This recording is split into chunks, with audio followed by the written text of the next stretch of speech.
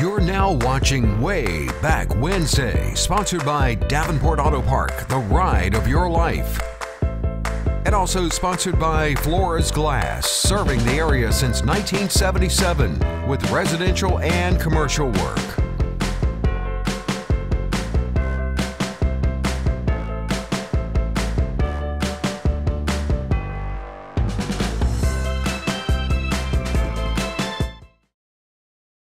Good evening, friends, and welcome to another episode of Way Back Wednesday. I'm Randy Adcox.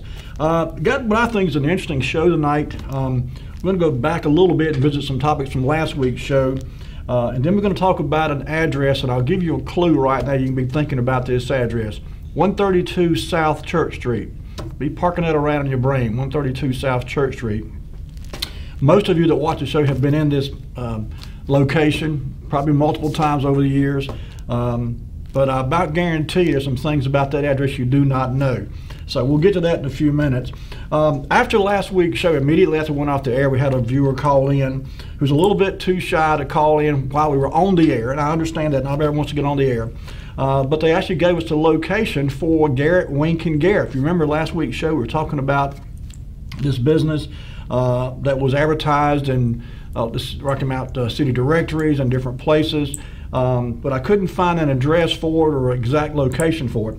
Well, as it turns out, uh, this viewer used to live on the road or down from that location where it is now, or where it used to be, I should say.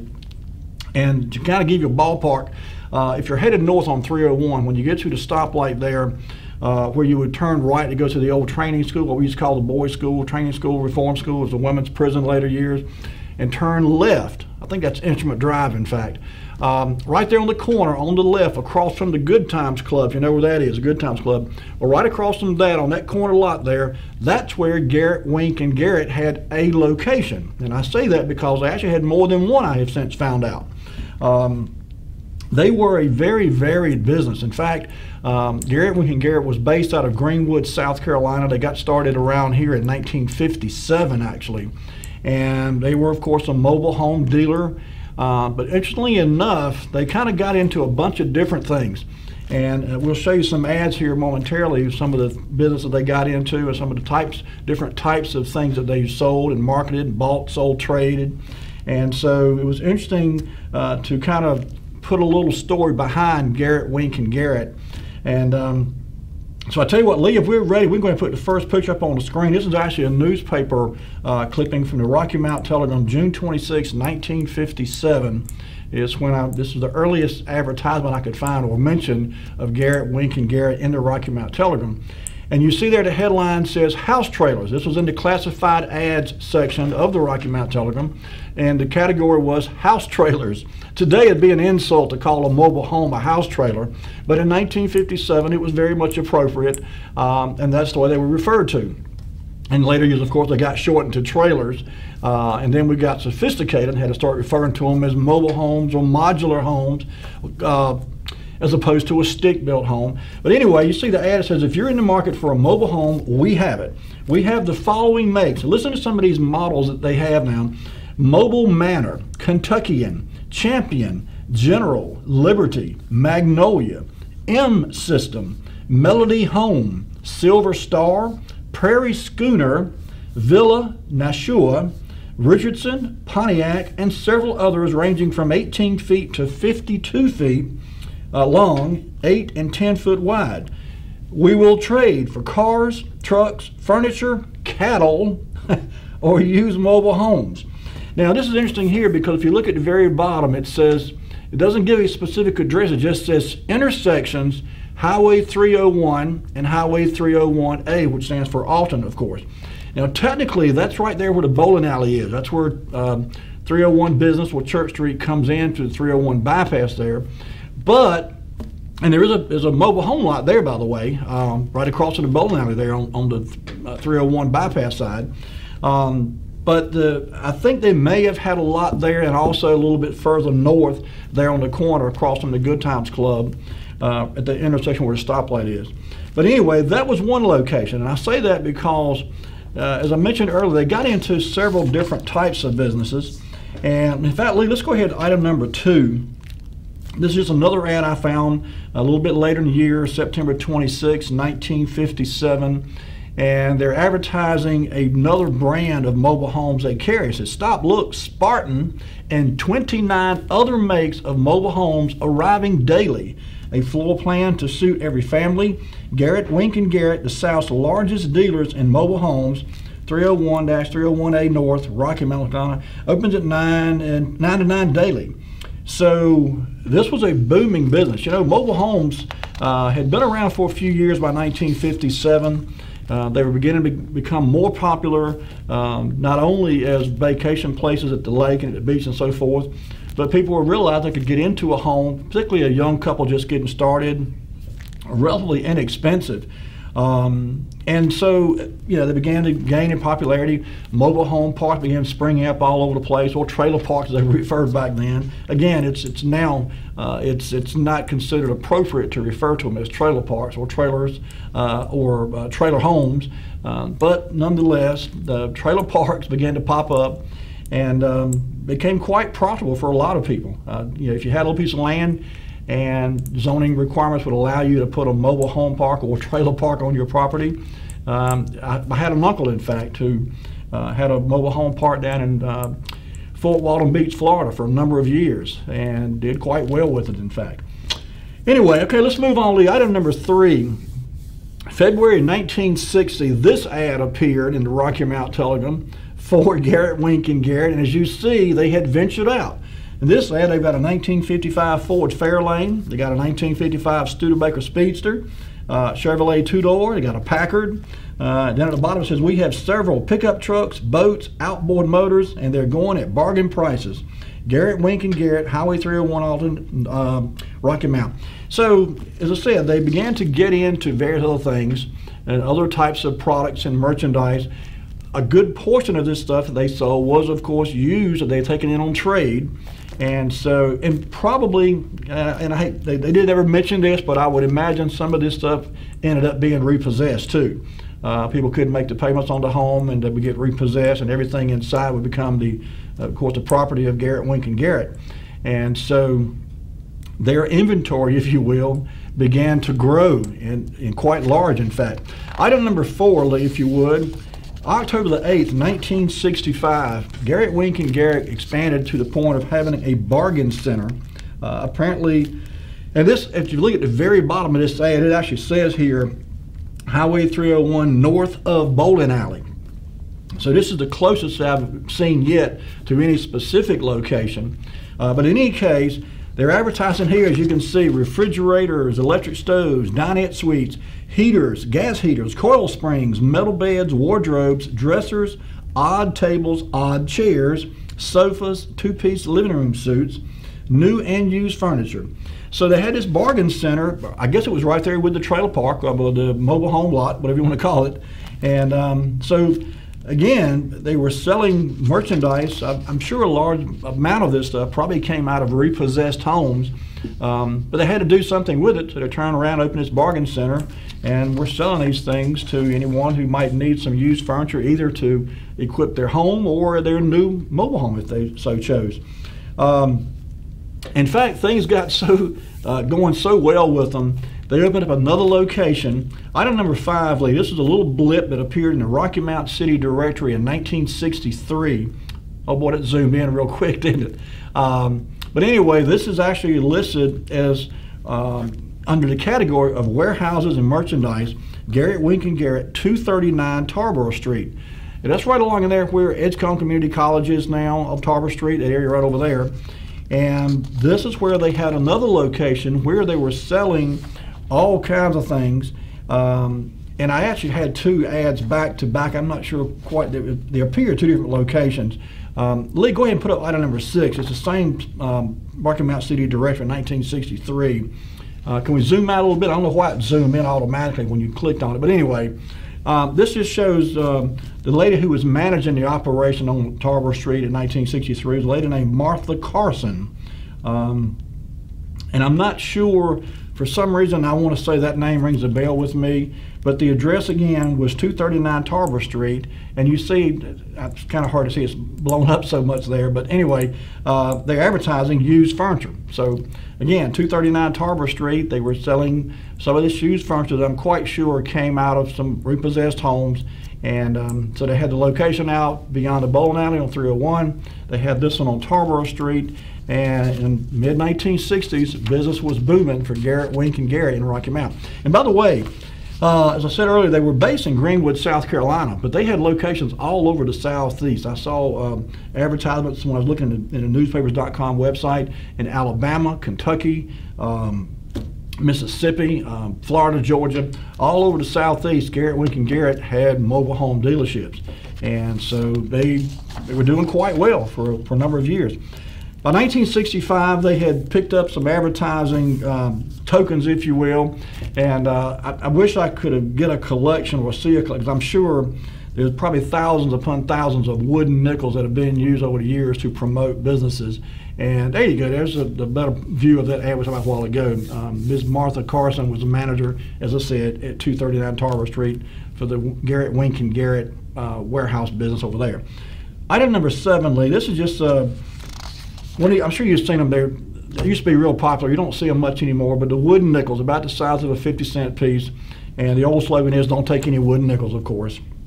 But anyway, Garrett Wink and Garrett had one. You see there, uh, they're located. They were located, home based anyway, out of Greenwood, South Carolina.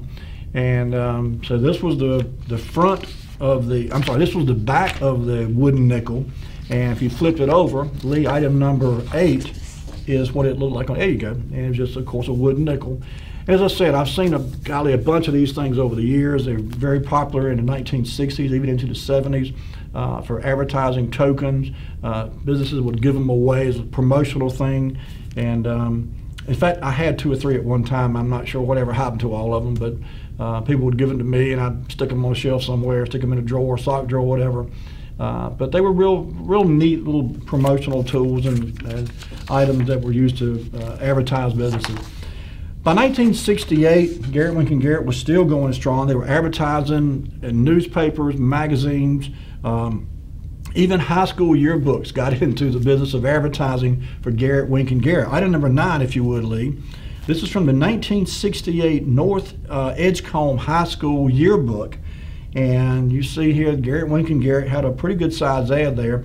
And it says the South's largest dealers of mobile homes, over 50 years combined experience in the sales, service, satisfaction, and growth of the mobile home industry. And Mr. L.R. Benfield was the manager of the one here in Rocky Mount uh, in 1968. So, as I said, during the early to mid 1960s, Garrett Wink and Garrett was really going gangbusters around uh, not only this part of, of in, in, Rocky Mount, but also in their uh, South Carolina location. As I said earlier, I, I, saw references and ads from different states in the southeast. So it was a, a large company employing thousands of people. Um, they were manufacturing more than two dozen different types of mobile homes. Um, I'm sure a great many of those ended up down at the beach. Probably a bunch ended up at places like Gaston Lake uh, and other you know reservoir type places around the country uh, on the water's edge or close to it. And that's it. It was it was a, a fairly inexpensive way to get into a home. Um, and for someone just starting out, a young married couple just getting started, it was a good fit, uh, for lack of a better term. Uh, and it helped a lot of people get started. I know friends of mine um, that when they first got married, uh, opted to purchase a mobile home, either new or used, and you know pay for that little by little until they could afford to buy a regular quote unquote stick built uh, stick built home. And so it was a good option, and I think for a lot of young people it probably still is. But anyway, okay, moving on. Item number ten, Lee. Uh, I mentioned the bargain center a while ago. They had the used furniture location there on uh, Tarboro Street but that bargain center out on 301 by the main trailer park lot uh, was really going by like gangbusters. Uh, this was 1970. They got unbelievable bargains, the headline reads. Brand new refrigerators and deep freezers at wholesale prices, best buys in, in town, uh, unheard of bargains in new and used furniture. Special purchase, brand new two cycle Trailblazer motorbike, regular price 376 on sale for 195 um, as long as they last, by the way, the fine print says. It says the best buys in the tri-state area, mobile homes from a travel trailer to 24, 24 feet wide up to 60 feet long. Uh, special buys on a few repossessions, catch up back payments, and move in. And of course, this is another Garrett Wink and Garrett operation uh, located at Highway 301 North. So they were, they were really doing well. And I'm not sure what happened. Um, this was 1970, and probably this was about the height of business for Garrett Wink and Garrett, at least in Rocky Mount. Uh, they continued operating for some time in other parts of the South, uh, but uh, unfortunately by 1972, the corporation that was Garrett Wink and Garrett in North Carolina was uh, administratively dissolved and eventually went out of business here in, in North Carolina anyway. Uh, by 1972, as I said, they were out of business. Item number 11, Lee. This is actually an ad that appeared. Um, P&Y Mobile Homes took over the remaining inventory and property uh, that had previously belonged to Garrett Wink and Garrett. As you see there, it says P&Y Mobile Homes Incorporated by the way, now you notice we're being advertised as mobile homes and no longer trailers. Uh, we've kind of got a little bit of sophistication now. So we can't refer to them as trailers anymore or trailer houses. Now they're mobile homes. Uh, formerly old Garrett Wink and Garrett, located on Highway 301 north of Rocky Mount, now at big discounts. All mobile homes formerly stocked by Garrett Wink and Garrett below cost, spaces for rent, city water and sewer. And you see there, and uh, I didn't realize, um, well, P&Y Mobile Homes obviously had more than one location. They had one in Sharpsburg, one in Rocky Mount, one in Wilson. As far as I could tell, I only saw one location for Garrett Wink and Garrett in this area. And that was the one in Rocky Mount, as far as a mobile home lot, I mean. They had, of course, the uh, bargain um, used furniture location down on uh, Tarboro Street. And I'm not sure, like I said, uh, the call that called last week, uh, had a very distinct memory of, of that of this location being out there across some good times on that corner um, there at the stoplight on 301. But this other ads that I've seen that reference uh, the uh, intersection of Highway 301 and 301 alternate, again, that's right there at the bowling alley. And there is a, if you're headed north, just after you pass uh, uh, Chevrolet on the left hand side, of course, is a mobile home lot there. So I'm wondering if maybe they had that lot as well. I'm not sure.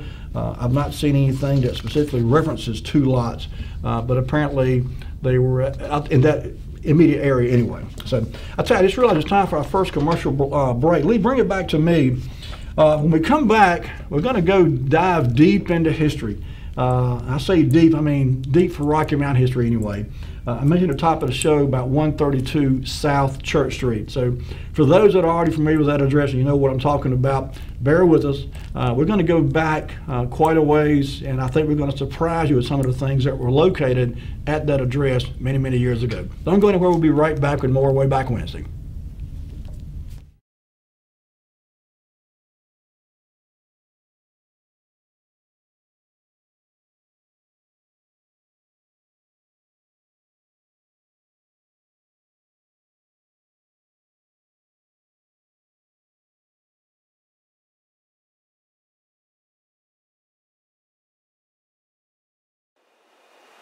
Today, having the right healthcare plan tailored to your specific needs is vital to your peace of mind.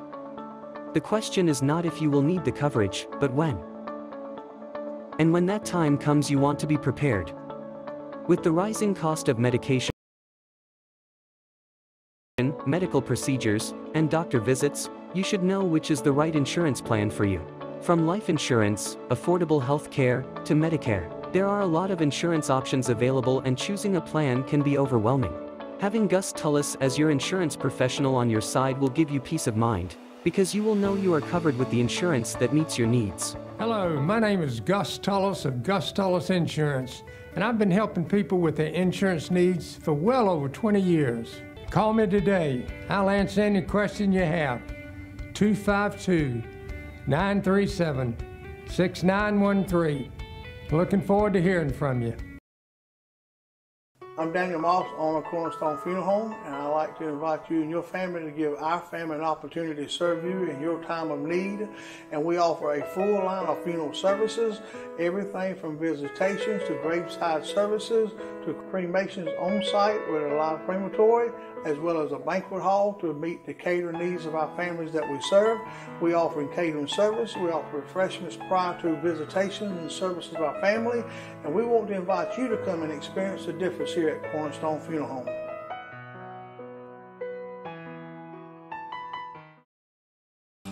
There's a main nerve that leaves your back that goes into your hip and goes down your leg. It's called the sciatic nerve. A back injury can put pressure on that nerve, causing pain, numbness, tingling. Chiropractors can actually help that. At the Hammer Chiropractic Center on Sunset, we know exactly what to do. We have very good relationships with the doctors in Rocky Mount. We like to co manage people's care. Some medications may help us do our jobs, and our jobs may help their medications work better. If you or your loved one is living with hearing loss, and if you haven't found a solution that fits your lifestyle, then you should consult with the local experts at the new Hearing Aid Urgent Care in Nashville, North Carolina. Hearing Aid Urgent Care is a place to go for over the counter hearing solutions that will improve your daily life and communication between your loved ones and you. Purchasing in our store does not require any prescription or medical recommendation. Our team of experts does recommend a hearing examination so we can help you purchase the correct product for your personal needs. We hold regular listen and learn events so you can ask questions and work with the high quality products from our vendors to find out what hearing device will best suit you before you buy. Open Friday and Saturday, 11 a.m. to 7 p.m. And you can call 252 459 4008 to find out more information. Hearing Aid Urgent Care located at 102 West Nashville Drive in Nashville, North Carolina.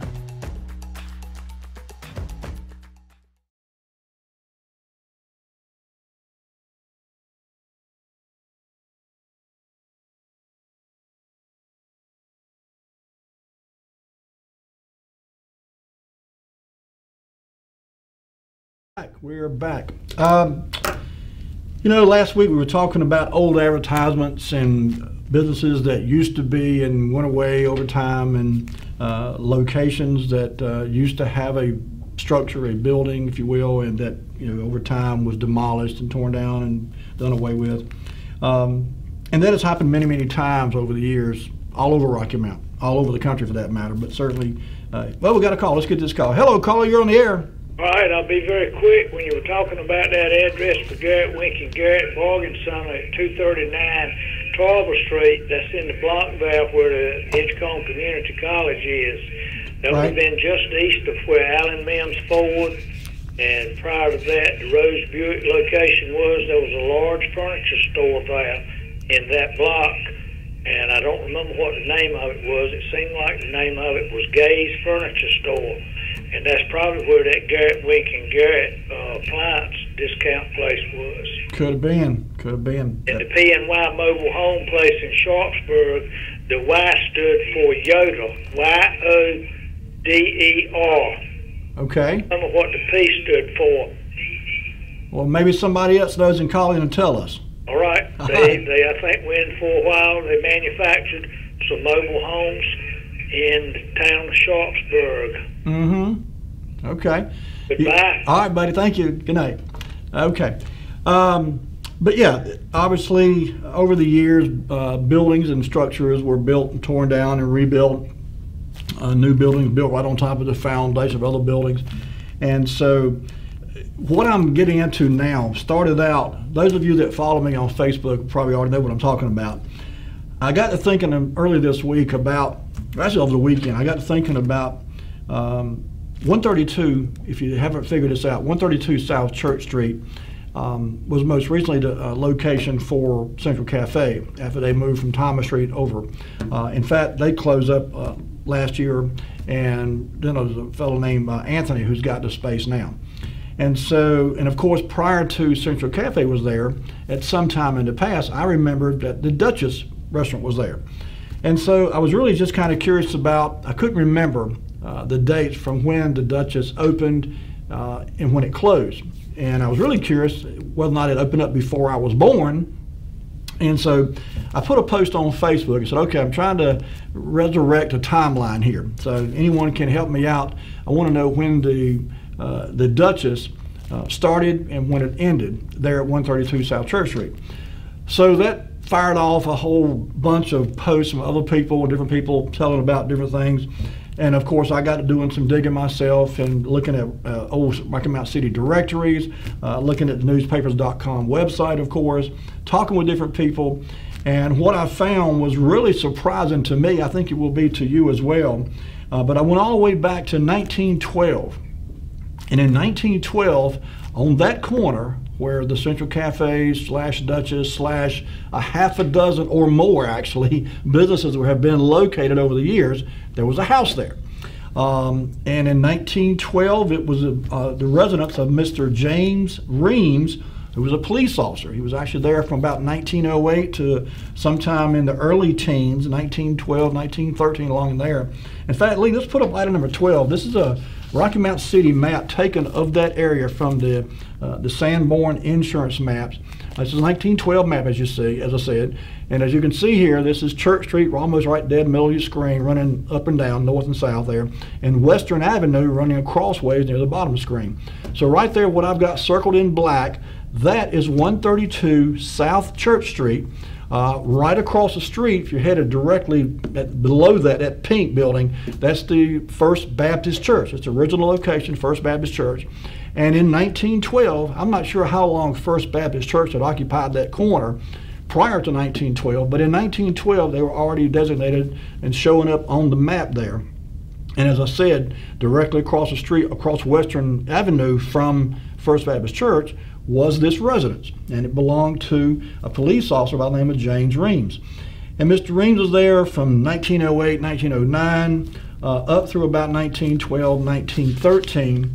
And then by 1914, uh, another gentleman bought it, and his name was George Sandlin. And George Sandlin stayed there for, oh golly, a few years, in fact. And there were some gaps. I don't have all of the uh, every year, I should say, of the Rocky Mount City directories. You've heard me say before that there's probably a good dozen or more uh, that have been digitized and made available for download over the internet. And over the last few years of doing this show, I have downloaded all of those, all of the available ones anyway, onto my computer in my office. So I can now pull them up at any time. And one neat thing about uh, the Rocky Mount City directories, at least most of them. This doesn't uh, occur in all of them, but in most of them, in the front of the book, after you get past the advertisements and all that kind of stuff, and you get into the actual family name listing, if you want to look up someone by their family name, for example, you can do that. As you go toward the back of the city directory, you get into all the street names. It lists all the streets in Rocky Mount by address, and it will tell you at any given address what occupied or who occupied that location at that given time.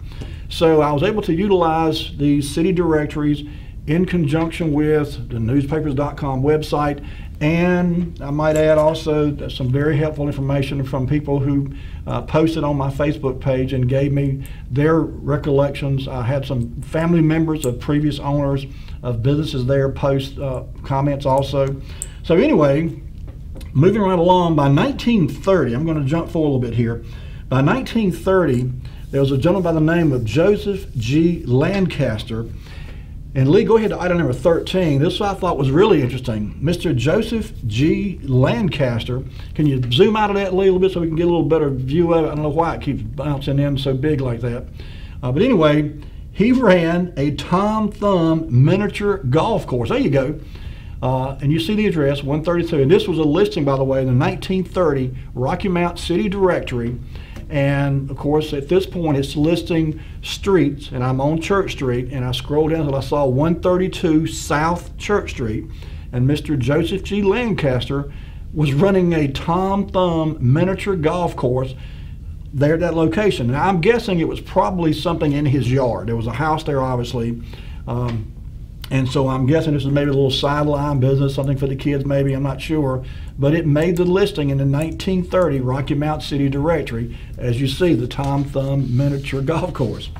Okay, so by 1937, I think, and I've not been able to confirm this, but I think either the house that was there was torn down and another one built there, or the one that was there was remodeled in some manner. But I believe it became a boarding house. And the reason I say that, um, in the 1937, well, the Rocky Mount Herald, you've heard me mention that newspaper. Uh, it was in publication around Rocky Mount, kind of in parallel with the Rocky Mount Telegram for a number of years. But item number 14, let's go ahead and put that up for the viewers. Number uh, 14, October 8th, 1937, this ad appeared in the Rocky Mount Herald newspaper.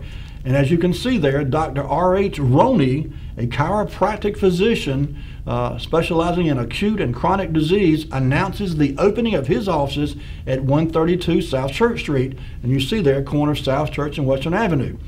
So, Dr. Roney, this chiropractor, opens up a chiropractic business there, or office, practice, whatever you want to call it, there at the same location, 132 South Church Street.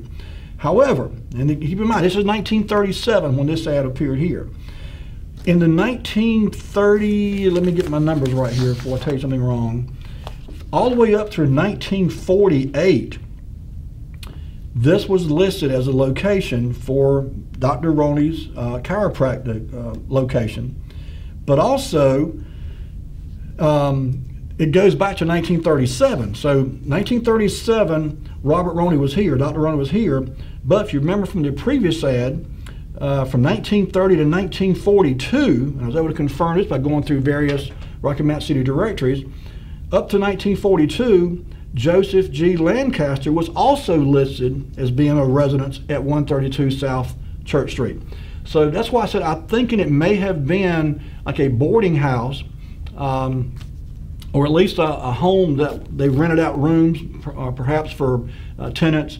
And Mr. Roney may have opened up his chiropractic business in a rented room in this boarding house. That's a possibility. We don't know for sure, but there was some overlapping there of tenants uh, between 1930 uh, and 1937 when two different people were listed in the Rocky Mount City directories as being at the same address. Okay, fast forward a little bit. Item number 15, Lee. By 1950, this was kind of neat. 1950, the Rocky Mount City directory showed this ad. Um, there you go. And again, the way the city directory is listed, you see there it says Church S, that stands for uh, South Church Street, of course, and then it lists the addresses, and you see that's 132. So that would be 132 South Church Street. And this is in the 1950 city directory, and you see what was there the little antique shop and Julia Johnson's art studio. So again, it makes me suspect that maybe there was a boarding house there and whoever owned the boarding house could have been this Mr. Sandlin that was there in, in, the early 1900s, or it could have been Mr. Lancaster who had the house and was listed as residence there from 1930 to 1942 in various Rocky Mount City directories. But in any case, by 1950, Julia Johnson had an art studio and a little antique shop there in the same location. Um, I looked to try to see if I could see any articles or any newspaper clippings about uh, a new building being built or a demolition of an old building, anything that would tend to suggest that the previous building had been torn down and a new building had been built at this location. And I did not find anything along those lines in this time frame. Okay, so moving along, by 1952, the Rocky Mount City Directory listed here at 132, uh, item number 16, Lee, I'm sorry, 1952 Rocky Mount City Directory listed at 132 the little antique shop. Uh, so of course this is the same location we just looked at um, that uh, Julia Johnson's art studio and antique shop was at. So she was there from 1950 at, at least uh, through 1952. We know because at the very bottom of the list now you see the little antique shop. And again, this is if you see at the very top of the page you see Church S, that stands for South Church Street. And at the very bottom of this listing, you see 132. So that's the address, 132 South Church Street. So again, from 1950 through 1952, at least when the 52 city director was published, Miss Julia Johnson had her little antique shop there. And there's no mention, by the way, in this ad about her art studio. So maybe she ditched the art studio and just kept running an antique shop. I'm not sure. But don't you know, in 1950, if she was running an antique shop there, she had to have some really, really old stuff. I'd love to have gone in that place then. Okay, moving along. by 1955, the first restaurant that I could find was listed um, at being as being at 132 uh, South uh, 132 South Church Street, and oddly enough, this ad here appeared, by the way, in a 1955 city directory, and it was called Spears Restaurant. Uh, and it says in the heart of downtown Rocky Mount. Um, Ellis W. Spears Jr. was the proprietor. He and his wife run the business. Uh, says we also have curb service for your convenience, all types of sundries, sodas, sandwiches, and so forth. Something interesting I, I found about the Miss Spears herself, and I had her name somewhere and I, I forgot to write it down. But the Ellis Spears' wife, Mrs. Spears, was good friends with none other than Lucille George of Carolina Cafe. And in fact, these two ladies uh, went on a field trip, if you will, together. And I believe it was, golly, was it in New York or somewhere? Uh, there was a restaurateur um, uh, seminar, whatever you want to call it, for people who own restaurants and Lucille George and Miss uh, Ellis Spears' wife uh, went together. And it said, you know, they were friends and uh, accompanied the trip because they were both in a similar business. Miss George running Carolina Cafe, of course, and Mr. Miss Spears running Spears Restaurant.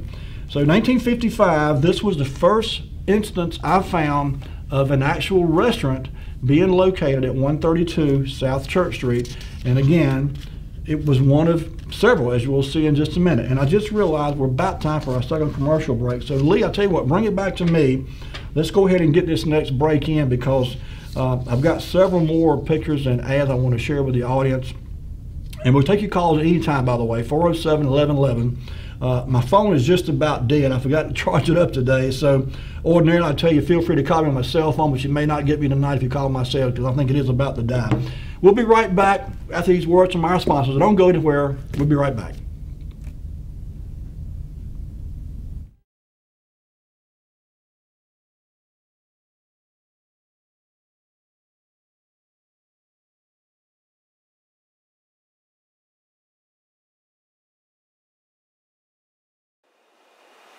Today, having the right healthcare plan tailored to your specific needs is vital to your peace of mind. The question is not if you will need the coverage, but when. And when that time comes you want to be prepared. With the rising cost of medication, medical procedures, and doctor visits, you should know which is the right insurance plan for you. From life insurance, affordable health care, to Medicare, there are a lot of insurance options available and choosing a plan can be overwhelming. Having Gus Tullis as your insurance professional on your side will give you peace of mind, because you will know you are covered with the insurance that meets your needs. Hello, my name is Gus Tullis of Gus Tullis Insurance, and I've been helping people with their insurance needs for well over 20 years. Call me today. I'll answer any question you have. 252 937 6913. Looking forward to hearing from you. I'm Daniel Moss, owner of Cornerstone Funeral Home, and like to invite you and your family to give our family an opportunity to serve you in your time of need. And we offer a full line of funeral services, everything from visitations to graveside services to cremations on site with a live crematory, as well as a banquet hall to meet the catering needs of our families that we serve. We offer catering service. We offer refreshments prior to visitations and services of our family. And we want to invite you to come and experience the difference here at Cornerstone Funeral Home.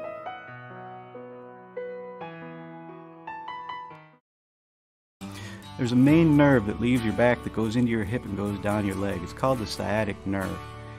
A back injury can put pressure on that nerve, causing pain, numbness, tingling. Chiropractors can actually help that. At the Hammer Chiropractic Center on Sunset, we know exactly what to do. We have very good relationships with the doctors in Rocky Mount. We like to co-manage people's care. Some medications may help us do our jobs, and our jobs may help their medications work better.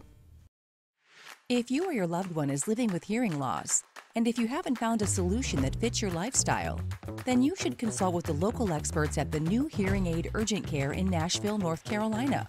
Hearing Aid Urgent Care is a place to go for over the counter hearing solutions that will improve your daily life and communication between your loved ones and you.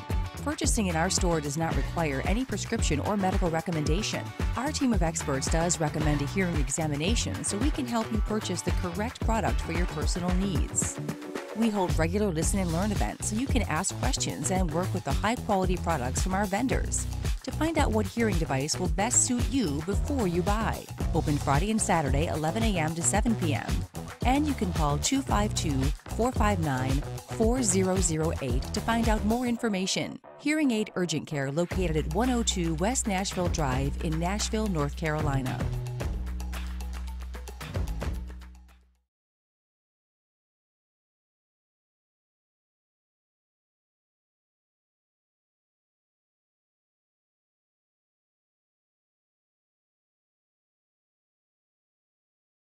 And we are back. You know, during the break, we had a caller uh, that uh, solved one mystery for us.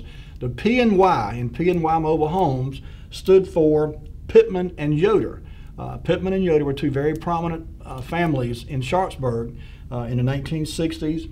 Um, the caller says she thinks uh, it was Benny Pittman and Ernie Yoder were the two gentlemen who were involved in the PNY.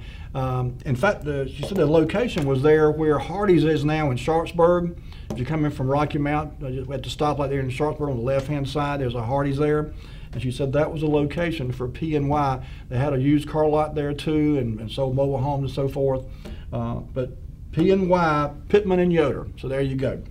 Okay, um, we were talking about before the break 132 South Church Street. And, you know, uh, my memory goes back as far as the Duchess. And, that's, and I, I can't, I don't have any recollection of anything beyond the Duchess or, or before the Duchess. And so it was really interesting to me to hear about all these other businesses that have been there over the years, going back literally more than 100 years 19, uh, 1908, 19, uh, 1908, 1909, uh, when Mr. James Reams, uh, Rocky Mount police officer, lived there. And so, uh, of course, at that time it was a residence. And as I said earlier, I think it was a boarding house too. Let me get another call. Let's get this call. Hello, caller. You on the air? All right. From from my understanding, when I was a child, that building on the corner there, where the uh, Central Cafe was, when that building as it is now, the brickwork and everything, was built sometime in the 50s. It was known first as the Ivy Room. We're getting there. You're a little ahead of me. We're getting there. All right, I'll let you go. Yeah, it, it was indeed. It was the Spears restaurant first, however. Uh, now, I'm not sure whether the Spears restaurant had uh, their own building and it was torn down. And as Eric says, the Ivy Room built the building that we know now as uh, Central Cafe, Duchess, and so forth. Uh, but yeah, the Spears restaurant was there in 1955. In 1961, Lee, item number uh, 18, if you would, June the 18th, 1961 was the first reference I could find to the Ivy Room. And it was, of course, located at 132 South Church Street. And you see there, dine at the Ivy Room and enjoy this Sunday special sliced turkey, cold plate, 125. Um, my Facebook post, I had a bunch of folks post about this place uh, and remark about the food and so forth. Another neat thing was uh, supposedly, and I, again, this was before my time. I was certainly alive then, but I don't remember ever going in the Ivy Room. But they said this thing was painted green on the inside. I guess the theme being ivy and so forth, it was green. The walls and so forth were green on the inside. Um, I have seen a, a photograph um, of, uh, and you can't tell anything about it, that's why I didn't share it with you tonight, but there's a photograph circulating around of a, I think it's a booth and a couple, and a, maybe a couple of people eating uh, inside uh, supposedly the Ivy Room, but again, it's black and white. It's kind of old and grainy, so you really can't make out anything that would allow you to distinguish. It, could have been any restaurant in town, in other words. But anyway, yeah, 1961. This was the first article or advertisement I could find. Now, the Ivy Room, according to the Rocky Mount City directories, actually opened up in 1958. So I'm going to clarify that. This ad appeared in 1961, but the Ivy Room itself came into being in 1958, according to the Rocky Mount City Directory. I couldn't find any listing in the city directory prior to 1958, and this was the first ad that I could actually find in the Rocky Mount Telegram, which I thought was odd uh, because they were in business in 1958, but I could not find an advertisement until 1961. So a little bit of discrepancy there between the uh, city directory and the Rocky Mount Telegram. I won't say discrepancy. I just I'm, I'm gonna guess that the uh, they maybe when they first started out weren't doing any advertising in the Telegram. We'll put it that way. Okay, 1963. Interestingly enough, uh, the man who ran the Ivy Room acquired a partner. Uh, you see the headline there Williamston man acquires partnership in local Ivy Room. This article appeared in the Rocky Mount Telegram May the 19th, 1963. And it says Paul Conway of Williamston has become a partner in Ivy Room Restaurant at 132 South Church Street. He will operate it with P.O. Pool of Durham. So I'm not sure, uh, it does not mention in any of the literature that I've seen who was actually the person who opened up uh, the Ivy Room restaurant in 1958. I'm not sure who that was, uh, but apparently um, this Mr. Uh, Conway and this Mr. Poole uh, became partners uh, in 1963, and they ran the restaurant um, for a while, but not very long. And the reason I say that is um, by 1964, I began seeing advertisements and listings in the Rocky Mount City Directory for the Duchess. Um, in fact, the Duchess actually operated there at that location from 1964 to 1982. And uh, there was actually a family member, uh, the daughter of the original owner of the Duchess restaurant, who posted a nice post on my Facebook post and gave a little bit of history about um, her family. Uh, and you know, after her father died, her and her, I think her sisters or brothers, uh, ran the restaurant for a few years. Uh, and she even made a comment that uh, after they sold the business to another entity, um, it didn't last very long, and then it went out of business again. So anyway, that was this article appeared in 1963, and as I said, the, the Duchess occupied the space at 132 South Church Street from 1964 until 1982. Now, in 1984, the uh, Townhouse Restaurant opened up at 132 South Church Street, of course, same location, and I could not find but one reference to the townhouse, and I got a little bit ahead of myself. Let's back up just a minute. Lee, put up, if you would, item number 20. Um, my pictures got out of uh, a little bit out of sequence here, but that's okay uh, because this. Uh, here you go. This ad appeared, or this picture and article appeared in the Rocky Mount Telegram, April 28, 1981. And you see here, drive-through service. The caption says, no one was seriously injured in an accident yesterday afternoon on the corner of Church Street and Western Avenue, but the Duchess restaurant took a direct hit. According to police, the vehicle driven by Howard Porter of Greenville and Nash County Deputy uh, Laverne Lewis were headed north on Church Street when Porter attempted a left turn onto Western Avenue from the center lane and his car collided with the deputies. Talk about bad luck, making an illegal turn into a deputy's car. Uh, the autos then traveled toward the restaurant and Porter's car crashed into the front door. Porter was charged with a safe movement violation. So this was in 1981, and oddly enough, this was not the first time that building was hit by a vehicle. I'll show you another picture in a minute when it got hit again, and it was almost a third time it got hit. Now, this is kind of odd too, because um, this is 1981, of course, and 19, by 1984 was when the Townhouse Restaurant uh, occupied the space. So, Lee, item number 21, this uh, little ad here appeared in the Rocky Mount Telegram December 28, 1984, and it's a just a short blurb in the police report listing the paper that day for a burglary that took place uh, at 132 South Church Street. As you can see there, it was called the Townhouse Restaurant. This is literally the only ad, only reference, only listing uh, anywhere that I could look and look through, including the Rocky Mount Telegram, uh, city directories. I could not find another listing or another mention of the Townhouse Restaurant other than this when they were broken into.